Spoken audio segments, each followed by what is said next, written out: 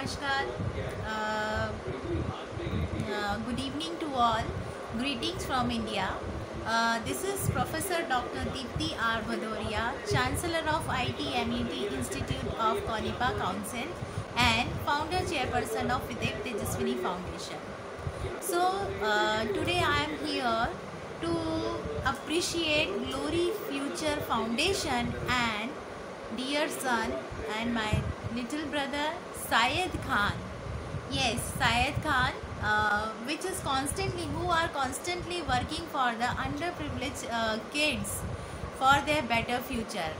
I would like uh, to appreciate him uh, as he is doing a very marvelous job for the better future of the underprivileged kids.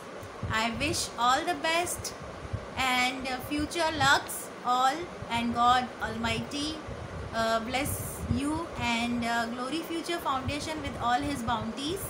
Uh, best wishes, regards, and uh, love and affections. Thank you so much.